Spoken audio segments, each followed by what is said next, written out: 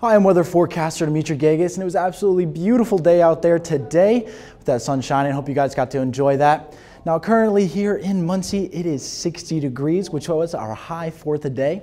Now, it's a little bit hotter down here in Shelbyville at 62 degrees, and then 63 down here in Bloomington. Now things are going to cool off just a little bit tonight at 45 degrees for our low with that rain coming in at 60% chances. Now if that rain does start coming down, it will be coming down sideways as you can see that wind at 20 to 25 miles per hour with gusts of up to 30 miles per hour. Now those winds will be sticking around for tomorrow throughout the day. As you can see 20 to 25 miles per hour and then gusts of up to 35 miles per hour, miles per hour for tomorrow. Now rain will also be a thing, thing all day tomorrow as we can see uh, light rain there at 8 a.m., 52 degrees. A little bit of a break there around lunchtime for the rain, 54 degrees. And then the heaviest rain thus far and to reach our high of 60 degrees.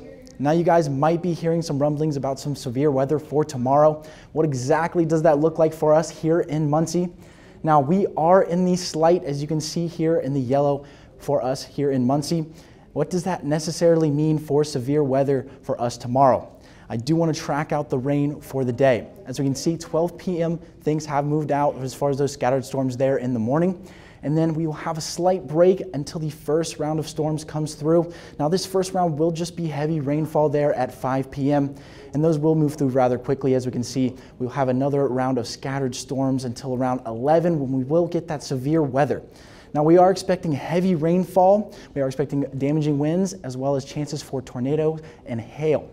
Now, what exactly are our risks for tomorrow and what the threat levels are?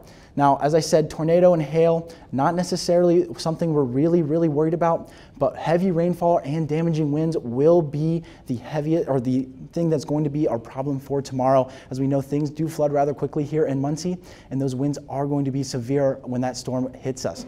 Now I do want to track out that wind, as I said, 20 to 25 miles per hour for most of the day.